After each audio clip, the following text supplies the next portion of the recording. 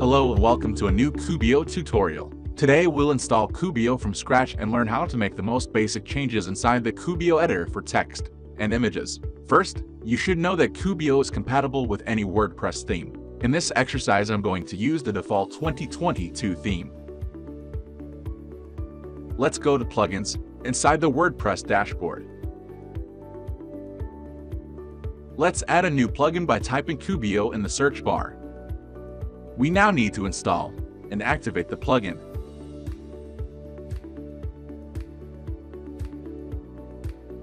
Now, let's take a look at the starter sites available inside Kubio. Some of these are free, while some are pro starter sites. You can import them right away or try them for free using the Try Online option. If you want to stick with the theme you're using, you can skip the starter sites. From now on, we will edit any page using the Edit with Kubio option.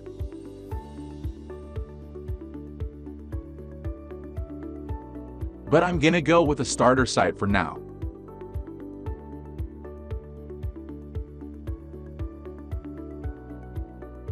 Next, we're going to modify some existing text. All you have to do is go to a heading or paragraph and delete or add words straight in the canvas.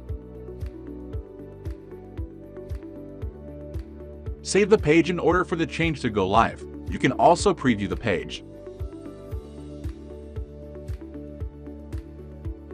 How can you add new text? Text in Kubio actually refers to the paragraph block or the heading block. Let's add a paragraph block below the main heading. We will just drag and drop the block from the block inserter below the heading. Let's add some dummy text here. Now, when you select any element from the page, you will use the block editing panel on the right for customizations. In the case of the paragraph block, we can change text color, font sizes, and so much more.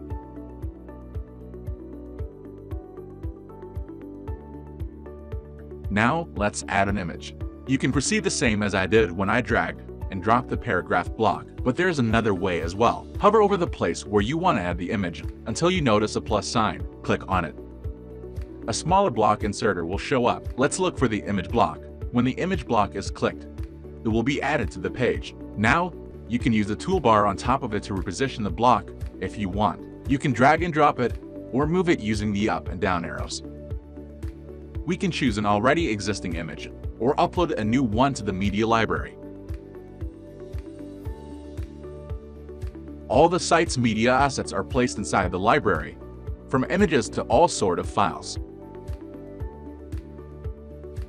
Next, we are going to use the block editing panel on the right to make styling changes. Now, what about backgrounds, sections, columns, rows, and several blocks in Kubio support background changes. This feature is usually found inside the Style or Advanced options in the block editing panel.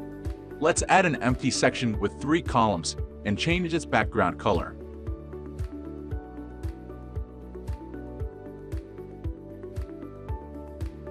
We can now use these plus signs to open up the block inserter and add new blocks.